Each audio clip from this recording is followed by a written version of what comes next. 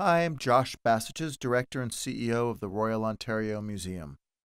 Welcome to this special online presentation of our signature lecture series, ROM Speaks. As we begin, I'd like to acknowledge that we are gathered on the traditional ancestral lands of the Wendat, the Anishinaabeg Nation, the Haudenosaunee Confederacy, and the Mississaugas of the New Credit First Nation since time immemorial to today. From fascinating viewpoints to thought provoking insights, ROM Speaks presents the brightest minds and most compelling voices on ideas that matter across art, culture, and nature. Please enjoy this essential new addition to our ROM at Home digital programming. And I look forward to welcoming you back to the museum for more programs like this when it is safe to do so. It's such a pleasure to be able to talk to you to get your perspective on not only the exhibition, but some of the activities that are going on in Jodhpur itself today that you've been a part of. But perhaps what we can start out right now is that the exhibition you know, really tries to emphasize the place of Jodhpur. It is a site, it, is, it has its own history, it's connected to the land. So I, would like to know, in your view, what makes this region of Marwar Jodhpur unique in terms of its physical geography, for example, or even its place in Indian history? So I think um, I think everyone saw a picture of Mehrangarh fort. You saw it situated on a hill, the only hill in the region. So it's actually a really dry, arid desert, rough terrain. It, it's called in Hindi Marubhumi, which is the land of death. So you could imagine um, in 1459 when Rao Jodha was riding with, troop of um, 200 of his horsemen and he decided to lay down, down uh, his capital on that hill. So I don't know what was going through his mind, but the region is had nothing. So the work was that much more. You had to then provide for your people water. Now, I don't know how many people know this, but Marwar, not Rajasthan, but Marwar itself has no groundwater. It's completely rainwater dependent. So, apart from building a fortress to keep people, he had to, it had to create um, water harvesting systems and really collect water, otherwise there was no way they could inhabit that area. So that is, in, in the centuries to come after that, it became continual, that uh, water bodies were created, for people to live around. And that's where a lot of the women were involved as well, in building the water bodies. So the tough terrain is actually what makes it really unique. And in many ways, it's, it's, it's in some ways a contradiction and irony that it did flourish despite this, this hardship of land and landscape. And so in terms of the role it might have played in Indian history, can you comment a little bit about that? despite this. Despite the, uh, the harshness. But I think a lot, if you see how fortresses, fortresses were built in those times, they would build them around the geography of the area. So I think it, it, it almost didn't become a deterrent. They just used the geography, created this fort, and actually created a kingdom around it, in spite of the harshness of the terrain. But they found, and that's why the arts developed, because they wanted to bring the beauty in, the creativity. And I think we, they just worked through centuries harder to create something like that. And to create, a, create the arts in the king, kingdom of Marwar. One of the other uh, themes in the exhibition that I, that I mentioned was the sense of this long continuity. Mm -hmm. And that the collection that's on display has remained intact because of the long continuous line that stretches back 39 generations. So I'd like to ask you, you know, what does it mean to you to be part of such a lineage um, and history? Seems like maybe a lot of pressure, but also um, no, no, it is. It's quite actually, an opportunity. It's quite, it's quite daunting in one sense, but then in the other, it's something you take for granted. You look up at your fort, our fort, our fort in Jodhpur, and, um, and then the history is ours. So all the rulers are our ancestors, and in India you deify your ancestors. So it's a real sense of pride. And the fact that the collection has been added by people that we have written histories on is actually quite exciting. So, I mean, you do re you relate to it. I can't relate to it on an everyday basis, but I, I would think how my ancestors, the women, would live on the fort, what they would be doing, what they'd be creating. But then on the other spectrum, you completely distance yourself and you see this fort and how it existed in spite of all the hardships in those in those years.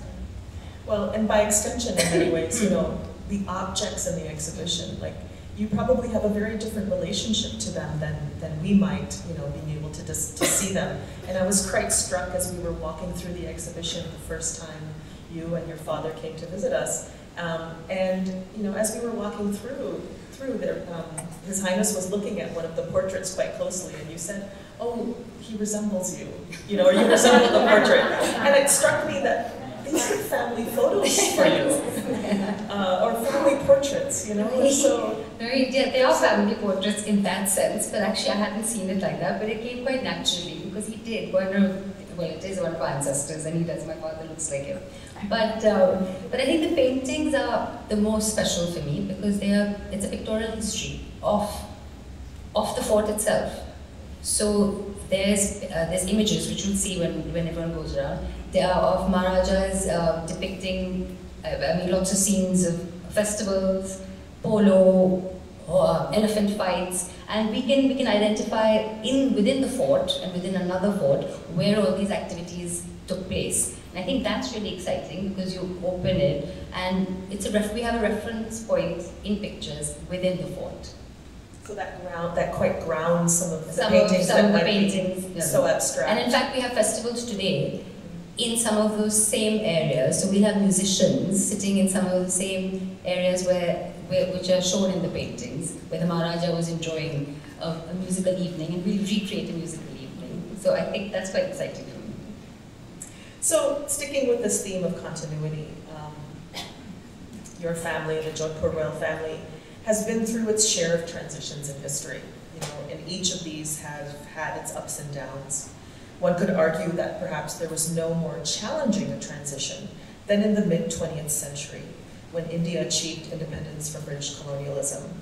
Uh, the rulers of India's independent kingdoms supported the formation of the nation, but also at the loss of their hereditary territories. Mm-hmm. Um, you know, your own father has helped shape Jodhpur through this difficult transition, and later in the 1970s, with the loss of the Privy Purse, uh, he returned from studying abroad and in many ways reinvented you know, what it meant to be uh, uh, a king. So in your view, what were some of the challenges that he faced and how did he overcome them? Um, so in, during independence, that was a choice of all the kingdoms and all the principalities. They decided to join independent India. So that wasn't so much of a blow as a choice and there was a change in lifestyle. Of course, I wasn't around then. My father was only four years old when this happened. But um, I think they got on with it, and they, his, my grandmother made the decision to educate him and uh, and take it forward. He was still a king in in the people's minds, and especially in my grandmother's mind. He was king. He had to be educated to rule his people, but in a modern context. So that was one part. So she sent him to England for his education, and um, I think he spent most of his time in Eton And he came back in the 70s, and that's when the real, the real hardships began, because the privy purses were removed then, and um, he had this large kingdom, but no finances to, to run it. But he knew he was he was not going to sell anything, and his responsibility was to um, to get this kingdom alive again in a in a different context and make it more accessible to people, not just his family, but all of Jodhpur, and he wanted people from the world to visit as well. So I think one of the first one of the first things he did was he gave the fort to the trust and created the Mehrangarh Museum Trust. So it was an open trust that public could, the public could visit, the people of Jodhpur could visit. And um, on the financial side, then there was this big palace that he lived in with his, his mother and then my mother. We went, still went around then. And um, he had to he had to run it, had to run itself, it had to pay for itself. So that's when he started um, started as a hotel. But what's more important is he, he was a pioneer in creating uh, the push towards heritage tourism.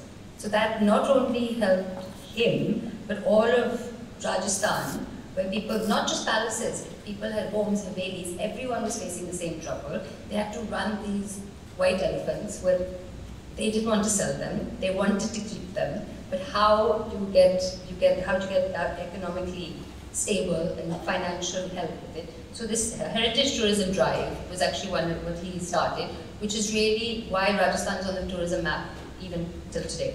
So that's one of the, the activities.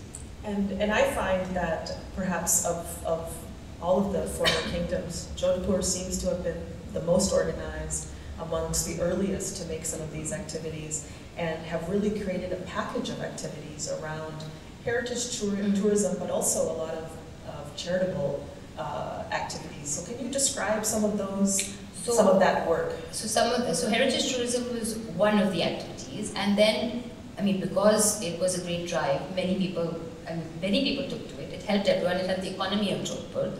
And so that grew organically on its own. But one of the other great, uh, important charities, started from my father, was, um, as I said, there's no, there's no rainwater. I mean, there's only rainwater, there's no groundwater in Marwar. So the Jal Bhagirathi Foundation. So this is another charity that works with, with local, with villages and the local knowledge and um, the barefoot engineers. So they give a part of, they give their, um, their knowledge and the foundation helps them to create water bodies that were, would be traditionally, would have been there in the villages. So the traditional knowledge was used by the village, which, which was used by the villagers, was, in, it was encouraged and helped by this organization and has thrived. So today, even in some of the remotest villages, there's no uh, pipelines from the government it's still rainwater. And all those traditional systems have been revived. And so this is a very successful, one of the successful projects. Um, I'll, I'll, maybe mention, we haven't talked about this, but you know, one of the um, heritage kind of activities that uh, I kept hearing about and, and always would just miss going to Jodhpur was the Sufi festival as well. Can you talk a little bit about that?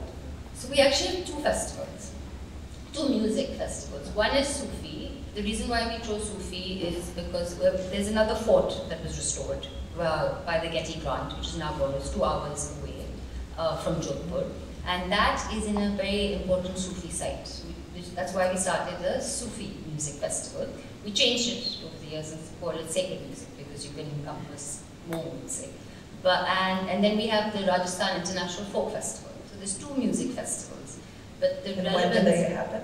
Uh, one is in October, and one is in February. That's a fun time to visit, if anyone wants to come. But it's fun because this is, what's really exciting about these festivals is it's, it's in these spaces, Mehrangarh and Nagaur. Throughout the year, there's, um, there's conservation works that go on, and I think a lot of people, it's not exciting for everyone to just come and see a fort that's conserved and a museum. So these music festivals really bring the place to life. And not only bring it to life, it's also encouraging the local musicians and our traditional musical heritage. And they and the local musicians will then perform with international musicians. So they, I mean, it, they enjoy it, and people enjoy it, and the forts and palaces are lived in, pretty much like if you see the miniature paintings, they come, they come to life like they're supposed to be. And in some ways, one can and see these um, hosting of music festivals as a continued patronage of the local artists. The, yes, I think so, because this is this and, and and one step forward because it's patronage, they get to perform at these venues, but they get to meet international artists, and that's what's really exciting for the musicians, the local musicians. So then, uh, perhaps turning to um, one of the themes in the uh, exhibition that I spoke about, which is really about the royal women mm -hmm. and their role at court. Um, you know, you are part of a long lineage of royal women who've played important roles at court. While not always preserved in written histories, their roles are being more recognized now. Mm -hmm. But you have a first-hand view of recent history. So can you speak a little bit about this?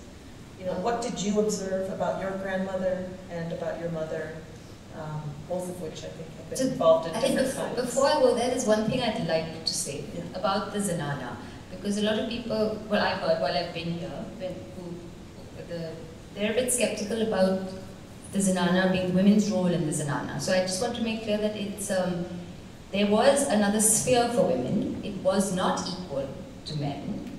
But what we're trying to show in this exhibition is that is their influence. It's not It, they weren't just passive, they weren't just sitting on the side, influence in the way of their diplomacy, the patronage to the arts. So I think that's, I just want to make that very clear. And then in our history we see it because they were patrons of the art. They came with their own finances and what did they use those for to build water bodies? Again, really essential for Jodhpur and the region of Marwar. And um, the festivals they ran, they watched they watched the proceedings of the courts. They, in fact, there's a very interesting painting in the exhibition of the women's court being held, which is very similar to the men's court, the bar. So that's quite interesting. And, and then this carried on over the centuries, till very recently. And I've seen my, my grandmother, uh, who, who's an example, who grew up as a reigning queen and uh, lived in the Zanana, behind the veil. And after independence, she was forced to come out because, well, it was, again, it was a choice. But when I say forced, it just means that she she was never trained to come out and speak in public. She was never she never thought she'd have to do it. But after independence, if she wanted to help her people, because my grandfather passed away then, by then, her son was really young, she joined politics. And she came out in public, removed her veil, encouraged other women to and um, and then actually joined the political, joined politics, joined parliament, and just moved on from there. And I think I think that's incredibly brave. Amazing. It's really, I mean, and so that my strength today comes from some stories like this because this wasn't part of, the, of her life, but I mean, that's what she did, and giving back was always part of what she wanted to do, and which she did. And I've seen my mother work every day. I mean, I've seen them work in the museums, and the hotels, work for Jodhpur, women's education, in the water harvesting projects. So this is what the women in my family do, and it inspires me. That's uh, great stories. Um, so um, getting back to this idea of some of the heritage activities uh, that Jodhpur, I think, has really been a leading force in, uh, in India. Um, you yourself play a major role in some of these endeavors. So can you speak to some of the aspects you personally are involved in? Um, so one is, one is the hotels, the heritage tourism. I, um, so I manage all our, all our properties which, which I really enjoy. There's the management side of it, and then there's the, what I enjoy, keeping it a, a sustainable business with the food, local foods, use local materials, local artisans, which I use as much local as possible. So I enjoy doing that a lot. Music, the music festivals is something we've spoken about, but I enjoy that because you use, again, you use these spaces you know, to get younger people involved in a more modern context, something different. So I enjoy that a lot. And uh, the, the latest project that I'm working on, which I find really exciting, is the skill development for the local arts, uh, local craftsmen in our area. So we have this big handicrafts industry, and I find that uh, the middlemen make all the money, and it doesn't go directly back to the craftsmen. And the high quality of workmanship that you will see in the exhibition has gone down over the centuries. But, but, the, but the same families are still around, which is very interesting. But, so this project is now a skills development project, so we have to work with them and actually get, bring their skills to a level. Oh, sorry, bring the skills to a level, a level um, that, which, like the paintings and like the exhibits, so that's what we're working on, and I'm very excited about this project. And, and so what are some of the outcomes of, of, of that? So we've just, we, we've had our first just we've actually just started it. We're setting up a um, we're setting up a workshop for women in Nagaur in one of the forts. So they will have we'll have women's employment and uh, the skills development. I just work for the future. So now we're going to get designers in. So we have the spaces to sell. We have the largest footfall in Jodhpur. In fact, the footfall for Jodhpur is calculated by the visitors of the fort to the fort. So if we can get them to produce these really high-end quality products, it goes directly back to these artisans. So it's the it's leather industry, it's jewelry, it's um, dali makers, but all of them, but really put in the design. Fantastic. So um, just talking a little bit more about yourself, um, people may not know that you actually studied social anthropology Mm-hmm. at Cambridge. And then you went on and studied film, actually, at the New School in New York City. So, what did you love most about these experiences? And what might be ways that you are applying them right now to the work you're doing back in Mhm. Jodhpur? Um, I think what I loved most, I enjoyed my experience both in England and love New York City. But, um, and at that, what I've learned from both these experiences is to look at my own culture from the outside, which was very interesting to me. And anthropology actually teaches you that. So I learned to respect it because being within it, being a Rajput is a little, um, it, it, again, like you said, our histories can be daunting. The whole experience can be a little bit daunting. But once you look at it from the outside, you you understand it. You understand you understand that a Rajput, or I understood that a, a Rajput is his history, and that's very important. So then, then you understand the importance of. Um, I suppose marriages and alliances, even in today's context, even though I might not want to take that forward myself, but you really understand where it comes from, and anthropology taught me that. So one is the understanding, but the second I apply it every day to the musicians, to the arts and crafts, everything we do, relationships, um, buying local, employing local people, what people want in the area, what the different communities want. I apply every day in my work. So I, I think it's a great degree. It was a really good degree.